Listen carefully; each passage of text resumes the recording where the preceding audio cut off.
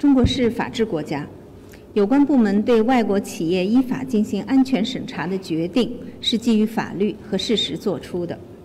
中国欢迎各国公民和企业来华旅游、经商，并依法保障他们在华的安全和合法权益，包括出入境自由。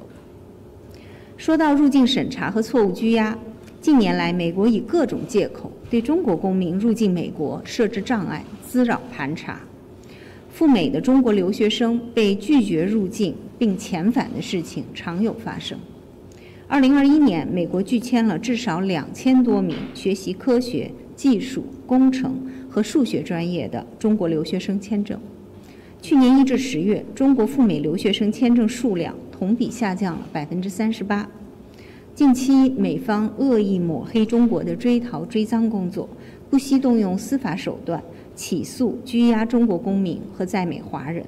还在芬太尼问题上甩锅推责、钓鱼执法，并跨国绑架中国公民，起诉中国实体和个人。我们敦促美方尽快纠正错误做法，停止干扰中美各领域的务实合作，同时停止对中国企业和公民任意拘押、非法滥诉，切实保护中国在美企业和公民的正当合法权益。